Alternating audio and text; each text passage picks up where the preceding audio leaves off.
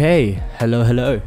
My, my, my, what have we here? I hope you guys are all happy, blessed, safe, and healthy, and everything in your life is just going well. I'm back for a new video. It's been a while. I apologize for that. I recently tried out a new um, film lab to film and to like to process and scan my photos, but they take way longer than the one I previously used, but the quality is better. So I'm like bouncing back and forth between which one I want to use. I really want to upload at least once a week or a little over a week. So yeah, I'm trying my best.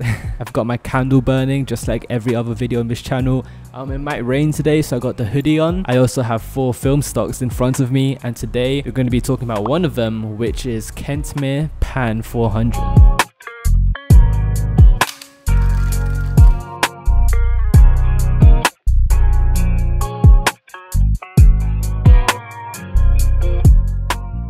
Do I get rid of these or I, uh, you know what, I'll put it to the side here. There you go. So my mom recently arrived from London, but before she left, she asked if there was anything that I wanted. Besides my childhood snacks, I of course asked for some film stocks. My mom was very kind enough to give me some Ultramax, some HP5 and some Kentmere Pan. Now I've had the privilege of shooting the first two HP5 and Ultramax, but never Kentmere. So I thought, why not make an entire YouTube video sharing my first experience doing so. So yes, long story short, I went out and I shot a roll of Kentmere Pan 400 but before I show you all of that the footage as well as the photos let's talk about this film stock a wee bit. So if you guys weren't aware Kentmere Pan 400 is a black and white roll and I love black and white photography as I think it's very underrated. Black and white photography can really change the entire environment and mood of a photo and can really give off some emphasis when it comes to emotion. Besides the emotional impact of black and white photography there's also a lot of pros and perks when it comes to the technicalities of things especially when it comes comes to lighting. You can really play around with your lighting when it comes to the shadows, textures, highlights and so on because of a tonal range, which is essentially the range between light and dark. Phenomenal photographers such as Ansel Adams took amazing photos in black and white of these huge beautiful landscapes and just by looking at these photos you can tell that he had a great understanding of lighting as well as tonal range. But yeah to sum it up black and white photography helps you appreciate the lighting in a photo more in my opinion as well as like gives this moody, emotional effect to the photo. Right, so let's get into this specific film stock and talk about it a wee bit more. As you may have noticed, I put Ilford and Kentmere next to each other, not because they are both black and white stocks, but because they have the same manufacturer. If you guys weren't aware, Kentmere 400 is essentially manufactured by Ilford, which is why they both have Harman technology on their boxes. Ilford slash Harman technology wanted to create a more cheaper, affordable film stock, which is why they came up with Kentmere Pan 400. So I researched Kentmere a wee bit more before I shot my roll to figure out why it's cheaper and how it's different. And the main characteristic or physical characteristics of the photos that makes it different is that Kentmere is far more flat compared to the majority of the black and white film stocks out there. So if you guys don't know what flat means, it's essentially like oh, if you could just picture a photo being like this, where there's not there's not any like strong highlights, not strong shadows, it's just basic. And basic doesn't always mean bad. Um, if you guys are into digital photography as well or filmmaking, then it will be very similar to having log footage. If you guys don't know what log footage is, it's essentially footage that's perfect for color grading. It's perfect for color grading because like I said, it's flat, so nothing stronger than the other. So it's a good thing if you edit your black and white film photos such as myself because it'll be easier to have more control over the image. But me personally, I'm like a dark, grainy, high contrast contrast kind of guy when it comes to black and white photography. So I would still prefer like Ilford HP5 or what's the other one? Agfa? Agfa. but of course, I love trying new film stocks, especially cheap ones. So I had to go out and shoot a roll of Kentmere 400. But before I went out to go shoot, I of course had to load this into my Minolta Union 1.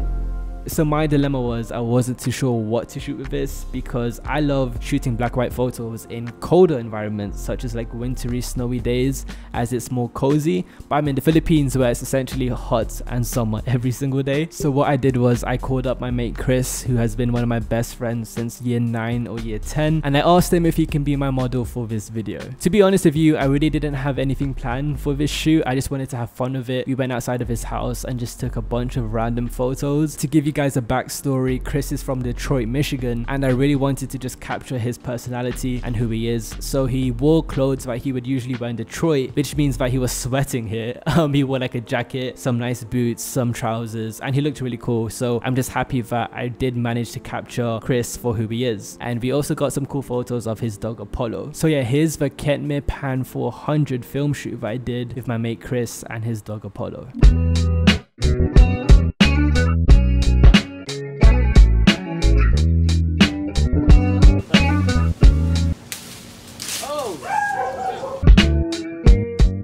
We started off at the back of Chris's house here under the trees when the light was coming through. I wanted to get him first sitting down and posing with Apollo and just have fun with the shoot basically.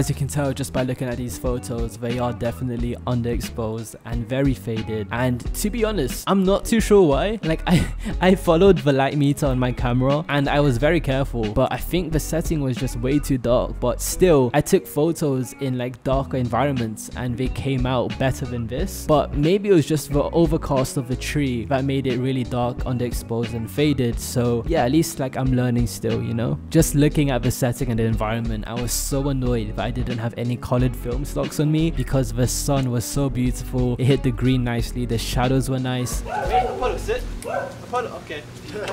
This here is one of my favorite models. Apollo, sit. Give me pull. Bang, bang, bang. Oh, he's dead. Get, get, roll. He's dead. Good boy.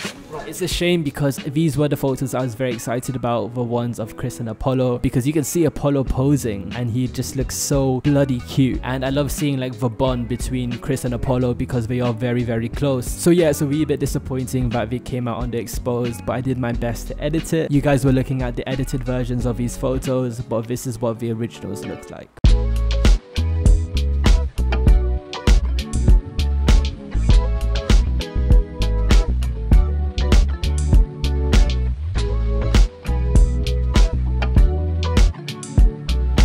After that, I wanted to get some more shots of Chris and Apollo right under the sun to make sure my exposure was good and I wasn't underexposed. But Apollo was acting up a wee bit and he just like kind of ran away.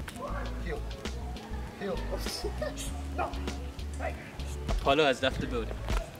It's funny because I was saying like he's so well trained and he always listens to us, but we had to put him in a cage for a wee bit because he just wasn't having it. With Apollo locked up in the house, it was just Chris and I, and I just took some very simple portraits of him.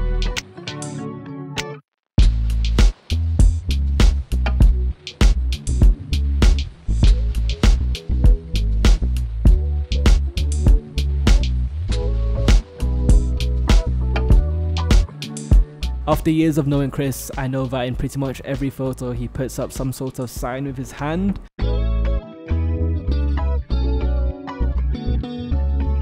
Hopefully they're not gang signs, but I wanted him to do the same here just so that his personality can show in the photo. I asked Chris to play around with his jacket, put it over his head and hold it down next to his Timberlands.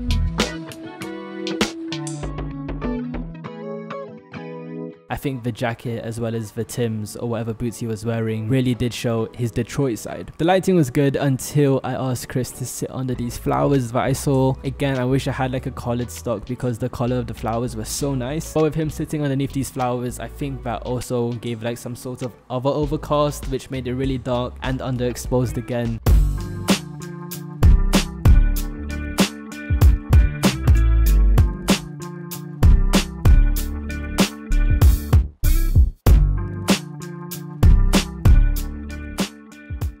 Thought like some sunlight streaks would go through, but not the case. This was also Chris's first time being shot in film, if I'm not mistaken. I asked him and he said, yeah, as far as he knows, he's never been shot in film before. So very cool honor being the first one to shoot him on film.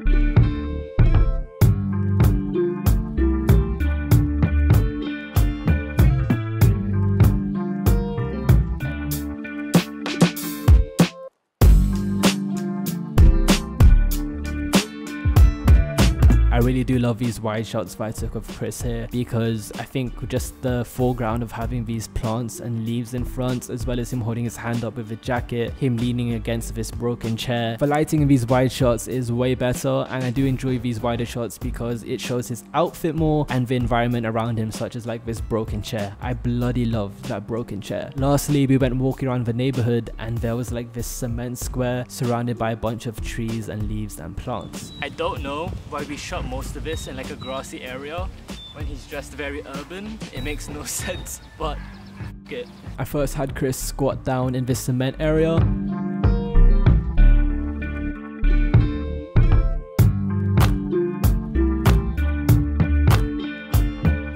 And some of the shots were good but other times the sun was just too strong. It showed directly into my lens and just blinded the photo. I expected there to be some sort of lens flare but it just shows another mistake that i can learn from. Also i think the problem with the overcast shaded areas was that my selenium meter which gives me my exposure reading might have been in the, in an exposed part of like the, the area where the sun was hitting it but my subject was not. So it was giving me like an off light reading if that makes sense. Chris pointed out a fallen tree slash log and asked if I wanted him to sit there. And I was like sure why not? Chris found a log all the way over there. So let's take a photo. I actually don't know how many I have left because I know it's 24 exposures but I'm near 20 so depends how I loaded it. But I really don't know how many I have left. Maybe like two or three. This might be my last shot. Okay let's go. And I'm very glad that he did because I got some really nice shots here of just him chilling there because we got some cool leaf foreground and the light was hitting his face in a nice way. So yeah, definitely one of the best photos from this shoot.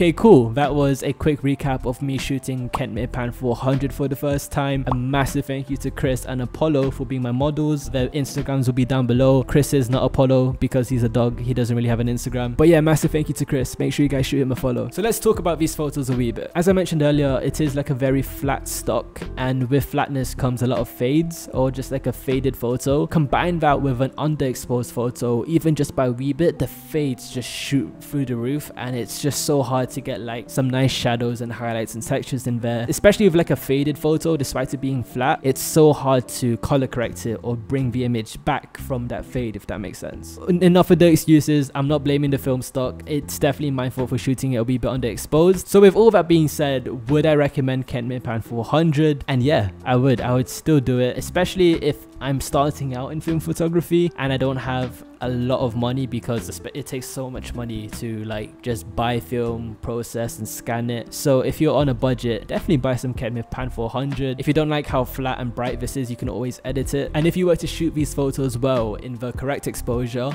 unlike myself, then you can edit it easily and have more control over it to bring up the contrast, shadows, highlights, etc. All in all, it is like a very smart film stock, I believe, for Ilford slash Harman to create because it's cheaper and it's also versatile because you can make it look like something else. The grain isn't as prominent in this film stock. You can still bring it out, I guess. For now, I'll stick with the HP5 because it's more my vibe and my style, but I definitely see myself buying some Kentmere again in the future just to play around with. Okay, I hope you guys enjoyed this video and learnt a wee bit more about Kentmere Pan 400. I definitely don't have a lot of knowledge, but I'm just sharing what I do know about the film stock as well as my personal experiences using it. Please comment down below what you guys think about it if you prefer Ilford or Kentmere, if you guys want me to make a video comparing the two. I just really want to know your thoughts. If you guys can teach me more about it, please comment down below as well. Also, please be sure to follow me on Instagram at Caffrey Cameron. It's popped up on the screen. You guys can check out my photography on there Uh, as well as keep up to date for when I post a video or you can turn on the post notifications down below. Thank you guys so so much for watching. I apologize again for taking 12, 13, 14 days to post again. Two weeks is way too long. It shouldn't happen again, but blame the film lab. No, I'm joking. It's my fault. Take care. Much love.